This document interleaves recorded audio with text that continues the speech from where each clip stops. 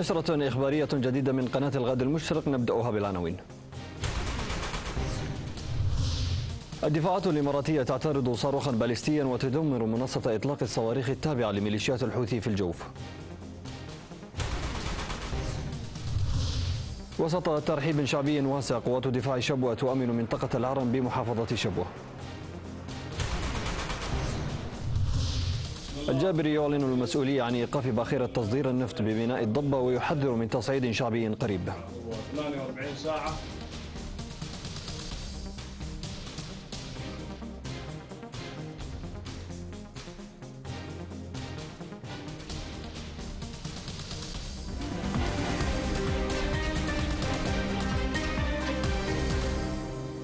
أهلا بكم.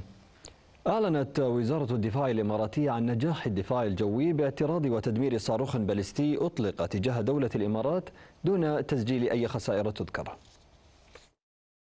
مرة أخرى تفشل ميليشيات الحوثي الإرهابية في استهداف أراضي دولة الإمارات الشقيقة وتنجح المنظومة الدفاعية الإماراتية. باعتراض وتدمير صاروخ باليستي أطلقته الميليشيات الإرهابية بعد منتصف الليلة الماضية. وأعلنت وزارة الدفاع الإماراتية عن اعتراض وتدمير دفاعها الجوي لصاروخ باليستي. أطلقته ميليشيات الحوثي الإرهابية تجاه الدولة ولم ينجم عنه أي خسائر حيث سقطت بقايا الصاروخ الباليستي خارج المناطق المأهولة بالسكان. من جهتها أعلنت الهيئة العامة للطيران المدني الإماراتي أنه لا يوجد تأثير على الرحلات والمطارات نتيجة اعتراض الصاروخ البالستي. هذا وقالت وزارة الدفاع الإماراتية في بيان لها أن القوات الجوية الإماراتية وقيادة التحالف نجحت في تدمير موقع ومنصة الإطلاق في محافظة الجوف بعد النجاح في تحديد المواقع المعادية. كما أكدت الوزارة أنها على هبة الاستعداد والجاهزية للتعامل مع أي تهديدات.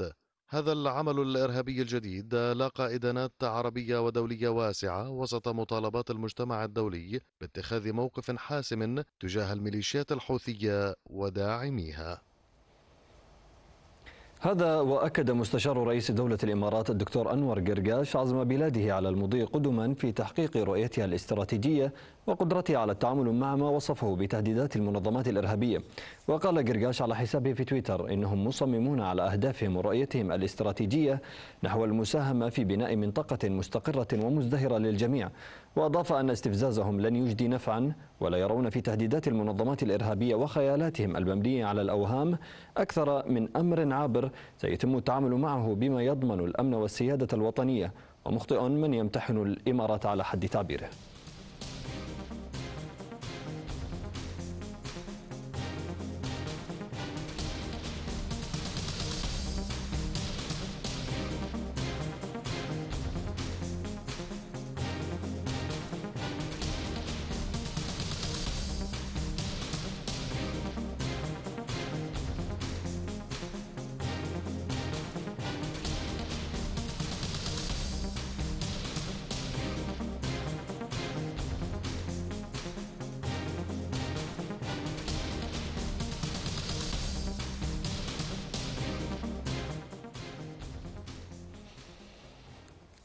أكد وزير خارجية الكويت الشيخ أحمد ناصر المحمد الصباح خلال الاجتماع التشاوري لوزراء الخارجية العرب أن الدول العربية تصدت لمسؤوليتها بخصوص هجمات ميليشيات الحوثي على السعودية والإمارات.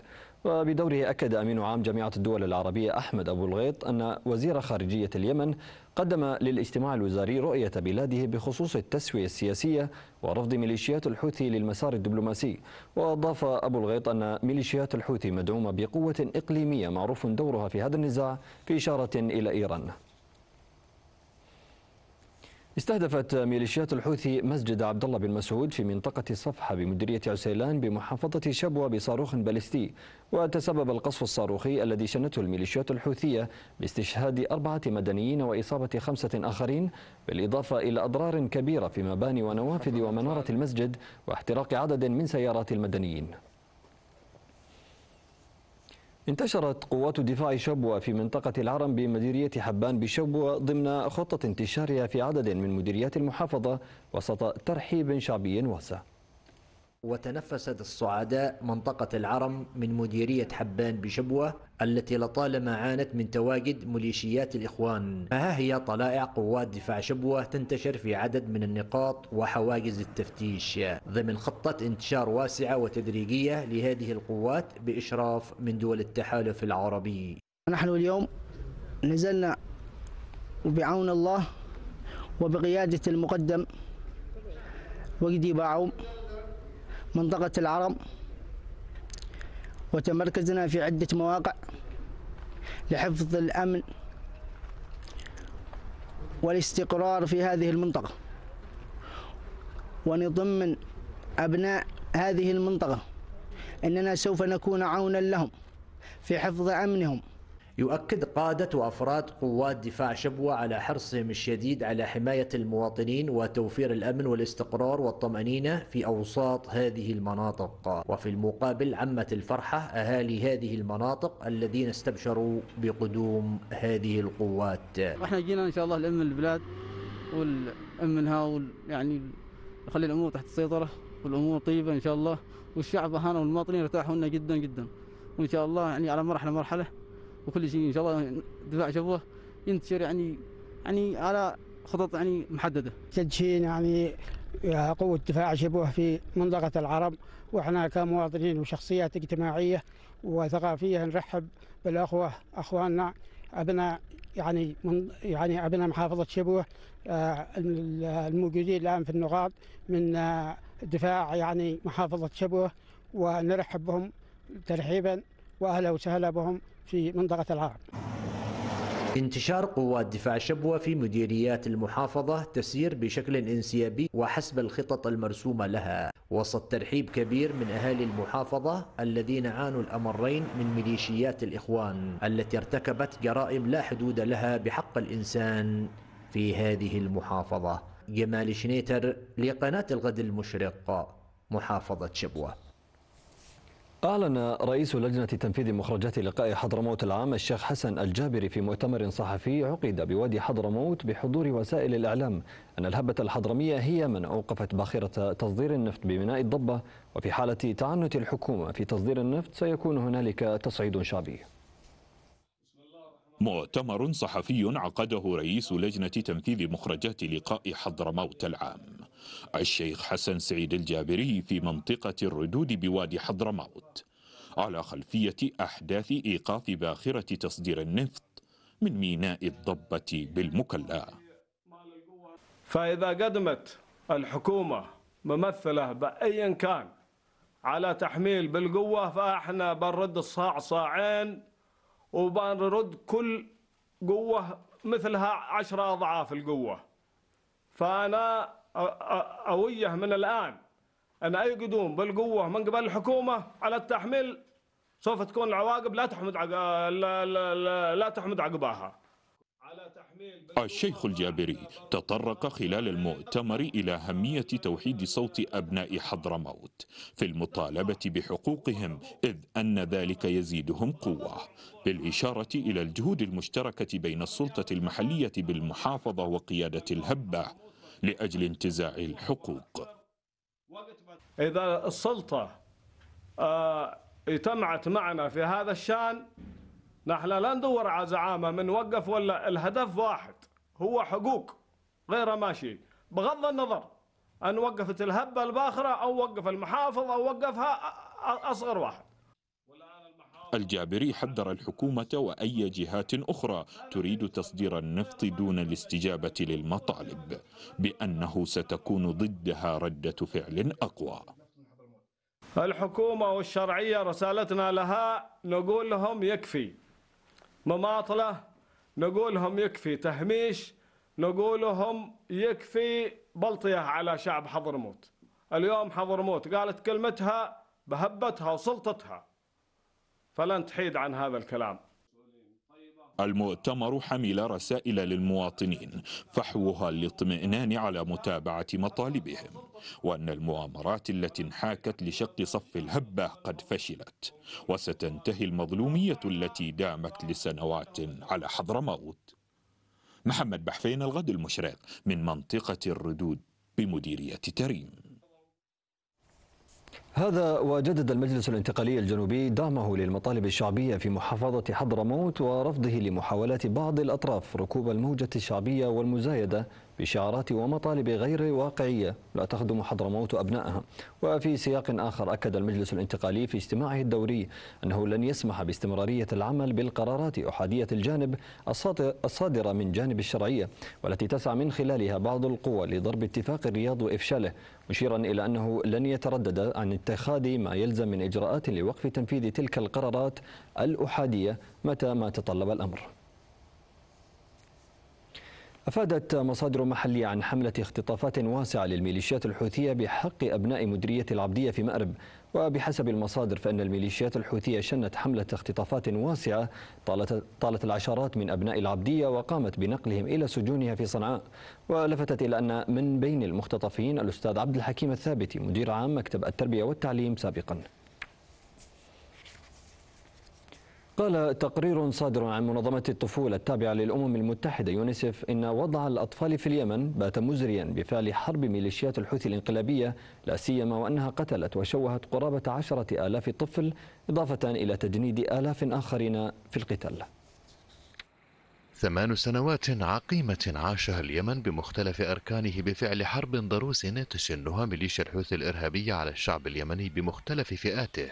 وخاصة المهمشة منها كالأطفال والنساء حيث أدت الحرب إلى واقع مزر يعيشه ملايين الأطفال. وأشار تقرير صادر عن منظمة الطفولة التابعة للأمم المتحدة يونيسف إلى أن وضع الأطفال في اليمن بات مزريا بفعل حرب ميليشيا الحوثي الإنقلابية. ولفت التقرير إلى أن اليمن بات جحيما لا يطاق للأطفال لا سيما وأن حرب ميليشيا الحوثي قتلت وشوهت قرابة عشرة آلاف طفل. إضافة إلى تجنيد آلاف آخرين في القتال. ووفق المنظمة الأممية فإن عدد الأطفال النازحين داخليا والذين أجبرتهم الميليشيات على النزوح من منازلهم يقدرون بنحو مليون وسبعمائة طفل فيما بات أكثر من مليوني طفل خارج المدرسة جراء الدمار والإغلاقات التي لحقت بالمدارس. وقالت اليونيسف أدت مجموعة خطيرة من العوامل سببها حرب ميليشيا الحوثي الإنقلابية والتدهور الاقتصادي التي استفحلت الآن بسبب كوفيد 19 أدت إلى تفاقم الوضع المزري لأطفال اليمن الأصغر سنا وأشارت إلى حاجة أكثر من 11 مليون طفل للمساعدة. ومن المتوقع أن يعاني ما يقرب من مليونان وثلاثمائة ألف طفل دون سن الخامسة من سوء التغذية الحاد. المدير القطري لمنظمة أنقذ الطفولة في اليمن خافير جوبرت قال في وقت سابق أن الصغار هم أول من يعاني من عواقب النزوح وهم الأكثر تأثرا بذلك خاصة في ظل تزامن هجمات ميليشيا الحوثي الحالية مع تفشي وباء كورونا وتدهور الأوضاع المعيشية بما لا يجعل بوسع الكثير من الآباء والأمهات توفير المتطلبات الأساسية لأطفالهم. وفي خطوة خطيرة تواصل ميليشيا الحوثي الإرهابية تجنيد الصغار عبر إقامة معسكرات ودورات لتشجيعهم على القتال عبر فعاليات تهدف إلى تشجيع الأطفال على التجنيد. وهو ما يتعارض مع كافة القوانين والأعراف الدولية الرامية لحماية حقوق الطفل وتعزيز مكانته في المجتمع. نشرتنا متواصلة وتتابعون فيها بعد الفاصل.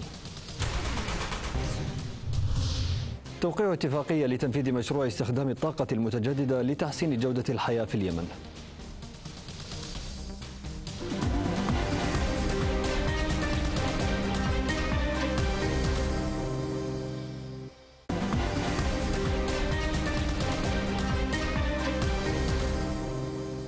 أهلا بكم من جديد. ناقش اجتماع لوزير النقل الدكتور عبد السلام حميد احتياجات ومتطلبات تطوير وتحديث مطار عدن الدولي وخاصة تلك التي لم يتم إدراجها ضمن مشروع تأهيل المطار من قبل البرنامج السعودي لتنمية وإعمار اليمن.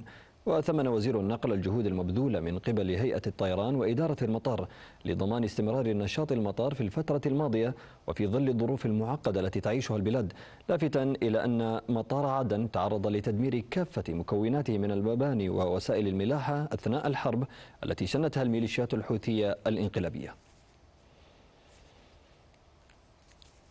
وقع كل من البرنامج السعودي لتنمية وإعمار اليمن وبرنامج الخليج العربي للتنمية ومؤسسة صلة للتنمية اتفاقية مشروع استخدام الطاقة المتجددة لتحسين جودة الحياة في اليمن في العاصمة السعودية الرياض. ويهدف هذا التعاون لتنفيذ المشاريع في مجالات الطاقة والبيئة التقنية والأمن الغذائي والصحة والتعليم وتمكين المرأة والمياه والإصحاح البيئي والحماية والإيواء في كل من حضرموت وتعز ولحج وأبين والساحل الغربي بتكلفة بلغت أكثر من مليوني دولار أمريكي.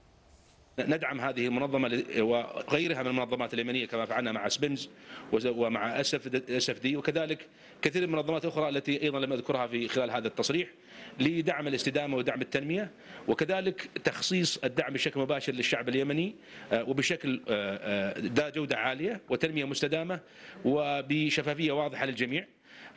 نستفيد من خبرات أجفند ومن خبرات سلع على الأرض والبرنامج السعودي تنمية عمار اليمن آه، هذا واحد 207 مشروع آه، ومبادرة مختلفة في كل في كل المحافظات اليمنية الخاضعة للسلطة الشرعية وإن شاء الله نحل السلام قريبا ونستطيع أن ندعم الشعب اليمني في كل محافظات الجمهورية اليمنية كما نفعل حاليا من خلال مركز الملك سلمان لإغاثة بالأعمال الإنسانية وعبر المنظمات الدولية.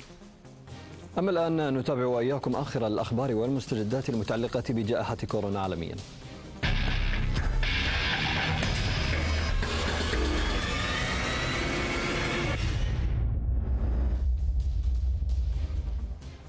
اكتشف باحثون في مدينة ووهان الصينية سلالة جديدة لفيروس كورونا تدعى نيوكوف وتشير النتائج المبكرة إلى أن لهذه السلالة القدرة على أن تكون أكثر فتكا من كوفيد 19 ويعتقد الباحثون أن نيوكوف والذي تم اكتشافه بين الخفافيش في جنوب إفريقيا يسبب معدل وفيات مرتفع مقارنة مع كوفيد 19 حيث يمكن أن يقتل في المتوسط واحدا من كل ثلاثة أشخاص.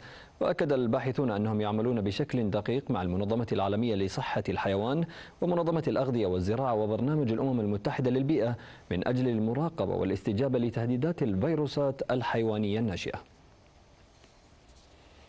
قال رئيس الوزراء الياباني فوميو كيشيدا إنه لا يفكر الآن في إعلان حالة الطوارئ في طوكيو بعد الارتفاع الكبير بعدد إصابات فيروس كورونا. وتأتي تصريحات كيشيدا وسط ضغوط على الحكومة لوضع العاصمة مرة أخرى في حالة طوارئ حيث بلغت نسبة أسرة المستشفيات التي يشغلها مرضى كورونا في العاصمة طوكيو 48% في الرياضة المحلية توج فريق شمسان بطلا للنسخة الأولى لبطولة شهيد الهبة الحضرمي عمر علي بازنبور. تتويج شمسان باللقب جاء بعد فوزه على منافسه النصر بهدفين دون رد. فريق شمسان بطلا للنسخة الأولى لبطولة شهيد الهبة الحضرمية عمر علي بازنبور. تتويج شمسان باللقب جاء بعد فوزه على منافسه فريق النصر بهدفين دون رد. كانت مباراة للند للند. ولكن استحقنا الفوز الحمد لله بهمة الشباب وبفضل دعم الجمهور لنا. والله صراحة نظم دوري كويس ويختلف عن باقي الدوري. تنظيم رائع ونشكر المجلس الانتقالي على هذا الدوري وتنظيمه. بطولة الشهيد بازنبور أقيمت برعاية القيادة المحلية للمجلس الانتقالي بمديرية المكلا. ونظمتها إدارة الشباب والطلاب باللجنة المحلية للمجلس الانتقالي في المدينة. نحن في مدينة المكلا نهتم بالنشاط الرياضي آه، تحت رعاية إدارة الشباب والطلاب بالمديرية ونكثف آه، نشاطنا للفرق الشعبية بالاحياء. الهدف من هذا خلال هذا النشاط اللي هو توسع أكثر مع الشباب وتعرف آه، إلهاء الشباب من الأشياء المضرة والمعروفة اللي هي أشياء السيئة مثل القات وغيرها من الأشياء هذه. فعلا إنه يعني بعض الشباب كانوا رايحين في عادات يعني وسخة وهذا لكن بصعد المراكز هذا إنهم جلبتهم وخلتهم يتجهون اتجاه الصحيح. ختام البطولة الذي حضرته قيادة المجلس الانتقالي بالمكلا ووالد الشهيد بازنبور. جرى خلاله تسليم كأس البطولة لشمسان والوصيف النصر. كما تم تكريم الفائز بجائزة أفضل لاعب في البطولة وأفضل حارس بحضور جماهيري كبير. عيدروس الخليفي لقناة الغد المشرق. نهاية النشرة وهذا تذكير بأهم العناوين. الدفاعات الإماراتية تعترض صاروخا باليستيا وتدمر منصة إطلاق الصواريخ التابعة لميليشيات الحوثي في الجوف.